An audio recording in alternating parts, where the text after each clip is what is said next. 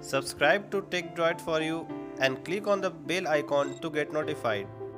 If your internet data is being exhausting very early and you want to know which app is consuming how much data, then watch this video till last. I am Subham, you are watching TechDroid4U, so let's get started.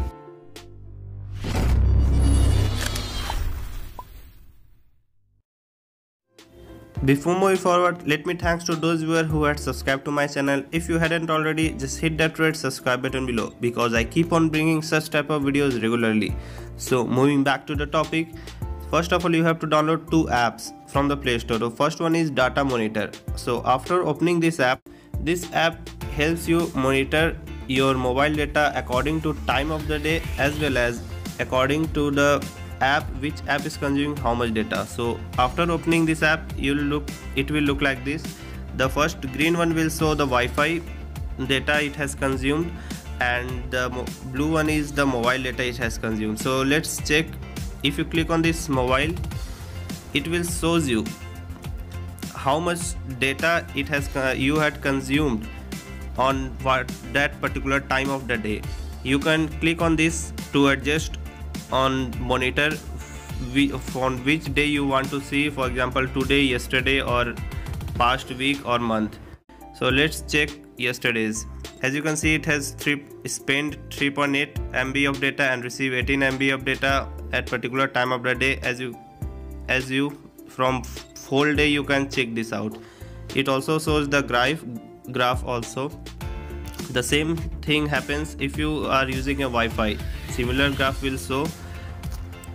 So if you want to monitor how much which app is consuming how much data just click on this tab and here you go.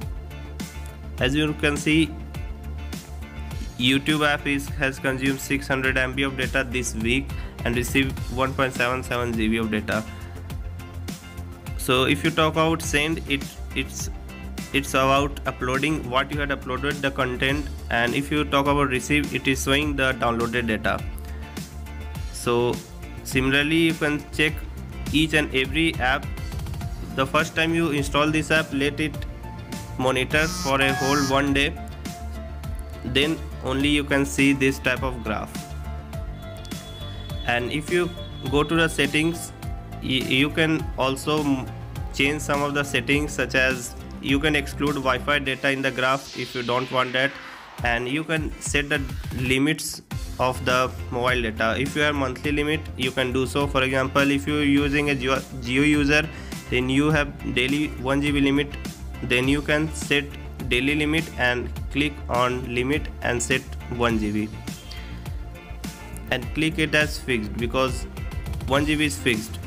You can't carry it over so this app is mainly to monitor which app is consuming how much of your mobile data.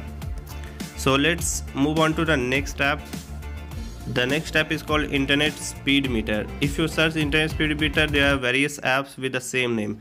So this is the right app. You can download it from the play store.